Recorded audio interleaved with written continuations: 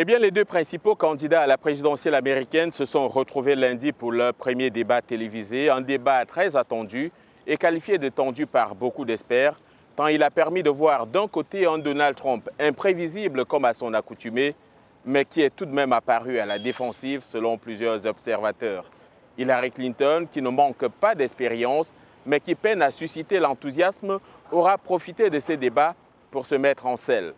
Pendant 90 minutes et devant près de 100 millions de téléspectateurs, les deux rivaux ont donc déroulé leur vision de l'avenir sur des sujets aussi variés que l'économie, la sécurité, la politique étrangère ou encore les taxes de Donald Trump et les fameux emails d'Hillary Clinton.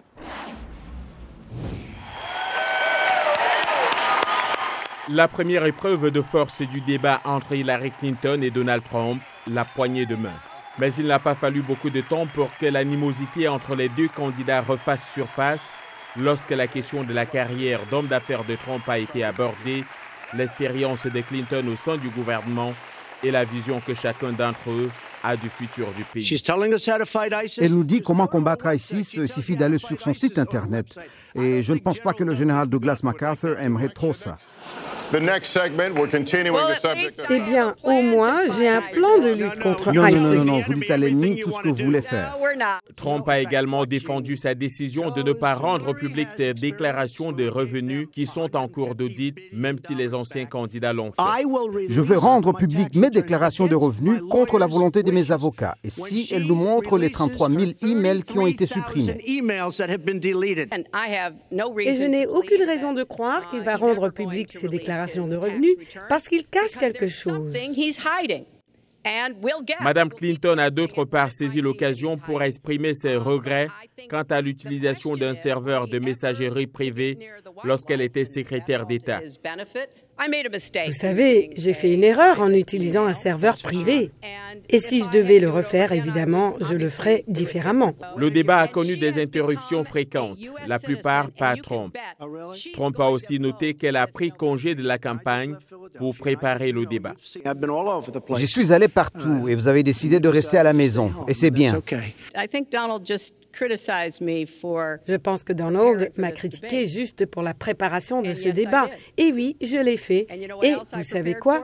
Je me prépare aussi à être présidente. Clinton a mis Trump sur la défensive, soulignant les doutes que ce dernier avait sur la nationalité du président Barack Obama.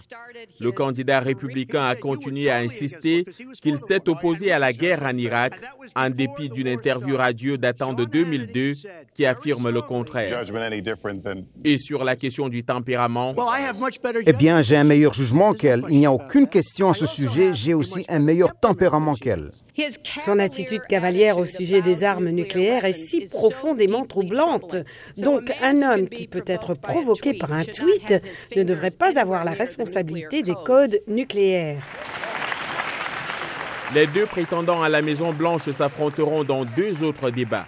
Mais le débat de la semaine prochaine opposera leurs colistiers, le démocrate Tim Kaine et le républicain Mike Pence.